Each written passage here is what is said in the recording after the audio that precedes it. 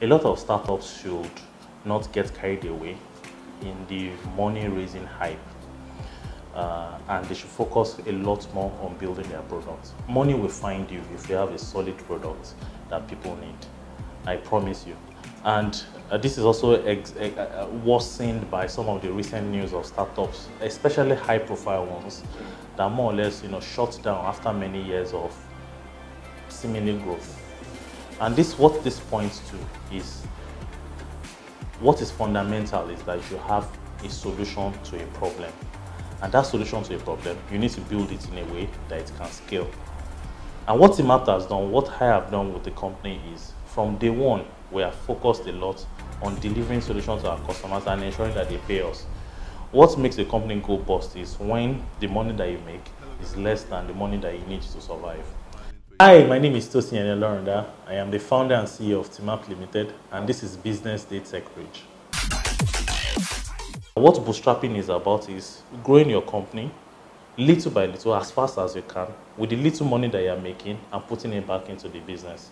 So in the beginning, we I had the idea and we built something small, and we're fortunate enough to have our first customer pay us what is fortunate, and this is one of the strategies that companies can use in bootstrapping, is you should get your customers to pay you upfront. One of the biggest costs for technology companies are human resource costs. In fact, we don't sell any inventory. The only inventory we sell are brains. So it's how do you get brains to work with you when you don't have a lot of money to pay. It's one of the hardest parts. The experience from my former employer helped, um, and I have I have been an entrepreneurial person even before joining my employer then. Uh, and one that's one of the things I also advise people. Uh, I think, according to a book by Malcolm Gladwell, Outliers, that says that the summary of that book is time, chance, and be prepared. That's the summary of the book. The be prepared means 10,000 hours. It means that you should have, at least for the craft that you want to get better at, that you want to blow at, you should have logged at least a minimum of 10,000 hours working on it. Then the next one is you need to be, be have the right opportunities, and you need to actually and the time needs to be right. So for me, um, I have actually gone through a lot of entrepreneurial training from school. I've built things, enterprises before I joined my employer then. So I didn't need to, I already had some in me. So that explains entrepreneurial. Next one is now product. So by learning my, my time there, you know, I got exposed. But of course, I didn't have all the knowledge. I just had a few understanding because I was just a programmer and a small product manager. So by the time you have a problem to solve, you have the ability to solve the problem and you have the means to solve it, and you have the mind to solve it, which is the entrepreneurial zeal, things start to form together.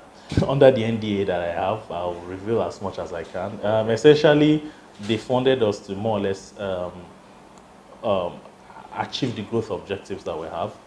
I think something that is interesting about us to them is the fact that we have grown to this stage also without you know any external help. I think that fundamentally shows some something is right. Um, others can hide under the fact that they are raising capital. Nobody really knows what's under the hood. But uh, uh the fact that you're existing without funds is shows that something is right. I think that's an important fact to them. And also, uh, they also have a portfolio of companies that I believe that were also, you know, interesting to add to the whole portfolio. So um, the, it's to more or less, you know, fund our growth. Uh, and Teamapt, we are currently thinking global. Um, of course, before you think global, you should conquer your home.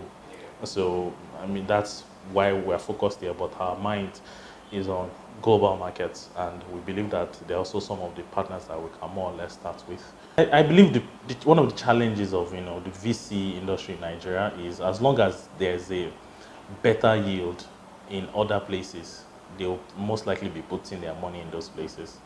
Um, in Nigeria, if you put money in real estate, you can more or less get the 100% yield in uh, a 100% growth in three years in fact, just putting your money in government bonds can guarantee you 17% year on year, totally risk free.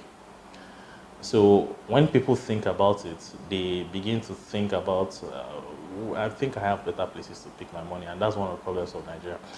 But uh, the thing, however, with you know startup is it is risky, but it's also very high yield, and it takes people that have the understanding and the right skills and partnership to know to mitigate those risks to more or less be comfortable with putting their money in those industries. Hi, my name is Tosin Eniolorunda. I am the founder and CEO of TeamApt Limited, and this is Business Day Tech Bridge.